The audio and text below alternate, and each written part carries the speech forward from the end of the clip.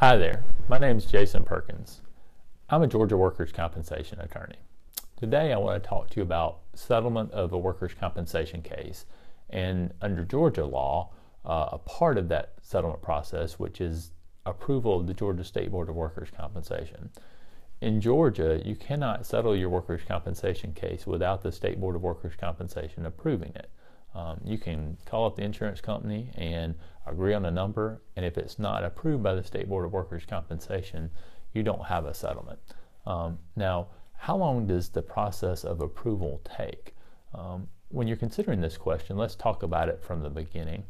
From when you reach a settlement with the insurance company, one of the things that's going to happen is the insurance company's attorney is going to prepare some paperwork uh, that will be the official settlement paperwork on your case and is going to send that paperwork um, to you or your attorney if you have one.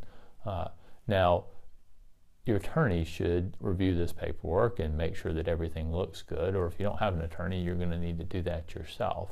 Um, once the paperwork language is agreed upon, it would be signed by you and then sent back to the attorney for the insurance company and signed by them as well.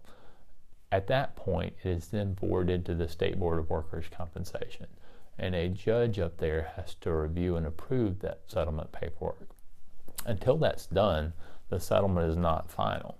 Um, now, that whole process can take anywhere from, uh, you know, 10 days to 30 days or even longer, depending on how long it takes to get the paperwork agreed upon and then how long it takes the State Board of Workers' Compensation to approve it. Sometimes they approve settlements very quickly, and sometimes it takes them longer. And there's no set time under the law for them to do that. Now, once the settlement is actually approved by the State Board of Workers' Compensation, from that point, your case is settled, and the insurance company will have 20 days to pay the settlement money. If they don't pay it within 20 days, they owe a 20% penalty. Um, but there's nothing that requires them to pay it any earlier than 20 days. They just have to make sure and get it paid to you within 20 days. Um, Hope you found that information helpful today. If you have, please let me know by giving this video a thumbs up or liking it. If you want to be notified of other helpful videos as I put them out, you can subscribe to this channel and you'll get a notification each time I put out a video.